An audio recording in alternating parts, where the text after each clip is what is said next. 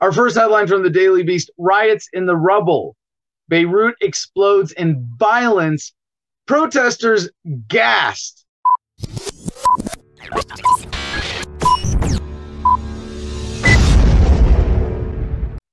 After deadly blast, anguish has turned to anger in the Lebanese capital with police using tear gas on protesters out on the streets to demand transparency over deadly port explosion.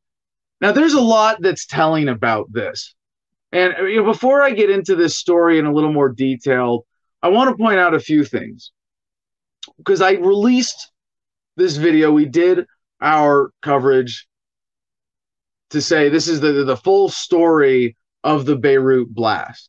And I know it's it's not like yeah, there's always going to be more to it, but that was part of what I said in there, and I, it was a complete analysis. Like there are going to be follow ups in terms of what happens in Beirut, the government response, the policy response, what happens with France, with Macron looking like he's trying to start a revolution over there, right? You know, hmm, a, a neo neo imperialism emerges from the new political reality of the world with the internet. And uh, like, let's let's just go over first what we know we know, because there are known knowns and there are known unknowns and there are unknown unknowns, right? Okay, so we know generally from the videos we can be confident that this big explosion happened we can be reasonably certain from the way that the Lebanese government is talking about this and that no one has questioned general public records that there was a stash of ammonium nitrate stored improperly at a government port because it had been seized by customs, right? Jim, I, I mean, I'm not, correct me if I'm wrong. That's not really in dispute, right?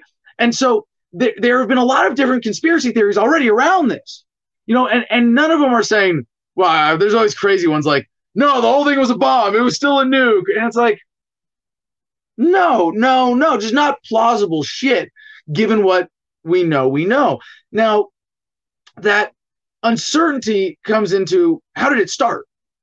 Right. And so I've seen people promoting videos and some of these crazy, like, uh, conspiracy theories that there was a, a, a missile that came down. There's a video from the other angle that, and it's like, no. I first of all, I'm more inclined to believe that that's like edited in. That someone's just trying to like and you right away with something like this, you see people politicizing it. Right? Everybody wants to not only view this through, but use this as a bludgeon to support their ideology. And I think the thing that's undeniable about this, the government is at fault for creating the the situation, for being irresponsible with the storage of this ammonium nitrate. Now, could it have been sparked by a, a total accident? Right? It could have been, could have been a welder. Uh, that was one of the theories, and one of the reports that we've seen. But would would you ever trust that? Right? What what if the government did it deliberately? But What because you get one of the possible there are some possible theories here. So what set this off? Right? And now that we're seeing France get involved, you, go, mm, yeah. I mean, it could still just be an accident that they're taking advantage of politically, right? I mean, they never ascribe to conspiracy that which can be adequately explained by greed and incompetence, right? That, might just be opportunism. And it really doesn't matter, right? And now I want I want to sort, sort of remember, remember, remember the, the, the core takeaways that, that we need from this going forward. One, the, the government of Lebanon sucks Okay, we knew, uh, yeah, we already knew that, right? But no, now we know, and now the people of Lebanon have a unique motivation to say, mm, no fucking way, no, no, sorry, we're not putting up with this shit anymore, and that's what we're seeing, right? As we covered yesterday with Macron touring the blast site and talking to victims and hugging and offering. And you know, we actually said he came out like directly publicly. This is kind of kind of blatant to say you know you guys should have uh, some political change as a result of this. So the other big takeaway is France should have no special power over the reformed Lebanon that comes out of that and and real support for the people of Lebanon as they're going through the political change that's going to come out of this is making sure that they don't get the standard corruption of imperialism. Police in the Lebanese capital Beirut used tear gas on protesters who took to the streets Thursday night to demand accountability over the monstrous Tuesday explosion that killed at least 150 people and injured more than 5,000. Small fires were set in front of the main parliament hall, and angry people threw rubble from the blast at police in riot gear. A paper trail shows how government officials ignored warnings for more than six years about the 22,750 metric tons of ammonium nitrate that was carelessly stored in a port hangar before it detonated has led to widespread calls for an independent investigation into the blast. Prosecutors have detained 16 port staff over the incident, but no government officials have yet been formally implicated, despite allegations that they ignored requests to remove the explosives from the city's main port. Lebanon's new prime minister Hassan Diab promised that those found responsible would pay a heavy price. Look in the mirror, asshole. Uh, but let, uh, let's just also look at the, the contrast in what is justice here, right? That they've detained from the reports we had yesterday. That was house arrest. I think I, I'm I don't know which it is, but you when, when someone is responsible for 100 100 deaths even by negligence or a significant suspect you you handle that approach you you detain them. You do this is where like you know as a matter of justice even real justice by libertarians. And i don't like that government is the mechanism of this. I'm not promoting that at all.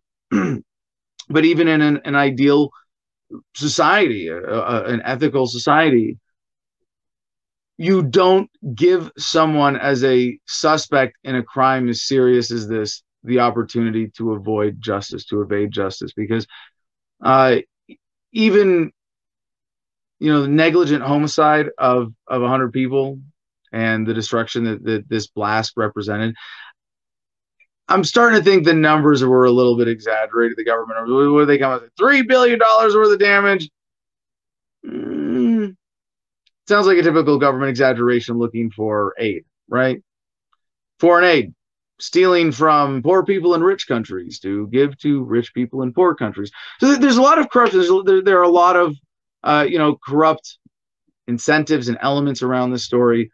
Um, so Lebanon's new prime minister, or sorry, uh, at least two Lebanese officials have resigned in a show of solidarity with protesters and to disassociate themselves from the government. Even before the deadly explosion, protesters had regularly demonstrated against the alleged government corruption has led to economic failures in the country. The so called October Revolution that started last fall led to violent clashes between demonstrators and police, despite the COVID 19 pandemic. On Thursday, Beirut registered 255 new infections, marking the largest single day increase, blah, blah, blah, blah, blah. International support has been swift, and many among the Lebanese diaspora, which is triple the in-country population of 5 million, have promised to aid in the rebuilding of the small nation. It's beautiful, beautiful uh, public response to this. But if I if I could say something to the Lebanese government two days ago, I would say ride the wave, make concessions, and you can hold on to as much of your racket as possible that way. Right? Your guilt in this is undeniable. If you want to maintain your corrupt power system, you're going to have to face up to the facts, face up to the public demands for transparency, and concede some significant reforms. Don't worry, you can exaggerate them in the media and your propaganda. I mean, you can make it look really big, like like you know the way the, that the American government has done with cannabis you know, legalization. You know, it, lo- it looks like it's a lot more legal, but the drug war hasn't really decreased that much in its viciousness. And in fact, it might go up or have have gone up because the government's getting more money and they're actually arresting more people year over year for cannabis in, in the last few years. So, you know, okay, so Lebanon, you know, your government, it's, speaking to the Lebanese government, uh, that's that's what you should have done, but you already fucked it up.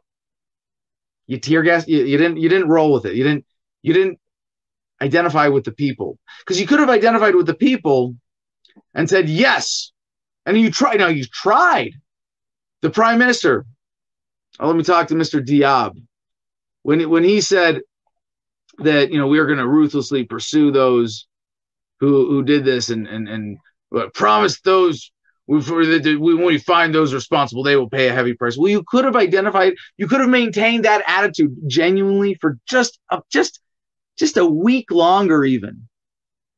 Just suck it up, suck it, hold in the evil. Yeah, you screwed up. You, you want to preserve your racket here? Mm-mm.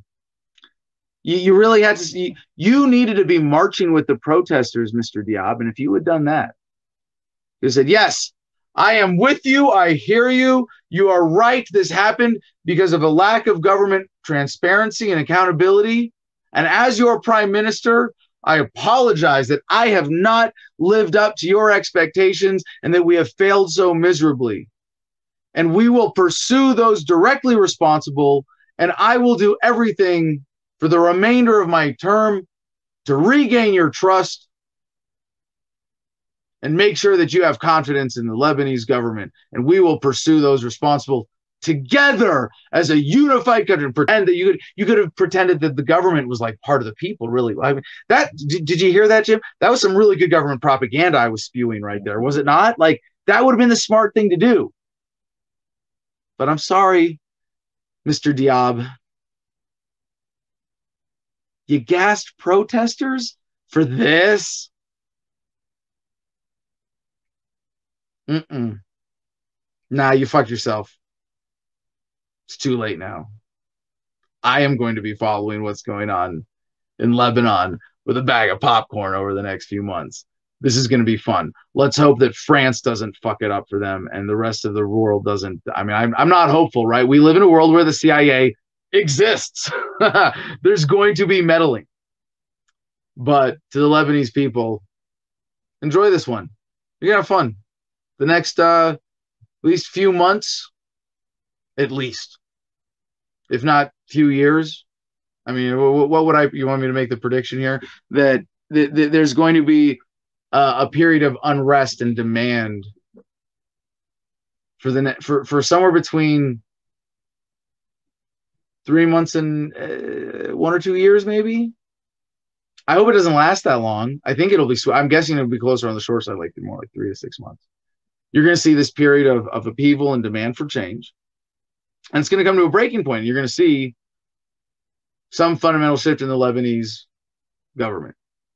I hope it's genuine because what often, I mean, it's so easy, right, to turn the government of Lebanon, to turn the country of Lebanon in a period of revolution like this to being more of a, you know, satellite nation of a first world country like like France or like the US and if the American CIA gets involved, uh, it's not going to help the situation. We we got we have to genuinely support at this point. Excuse me, the the the true right of a self determination uh, of every Lebanese person, and uh, that, that yeah, that there's no collective right, but to to make sure that there is no foreign intervention that is going to lead to uh, a much greater government exploitation of Lebanon, as we've seen so many times throughout history that uh, big governments are able to step in and pervert these small governments, reforming in order to serve the sponsors of big government. And in the case of the United States, that's usually the military industrial complex. Yeah, uh, accidental explosion in Beirut. Now we got to look out for the U.S. military industrial complex getting involved. Sad, but that's the world we live in best of luck to the Lebanon Lebanese people. Really enjoy this.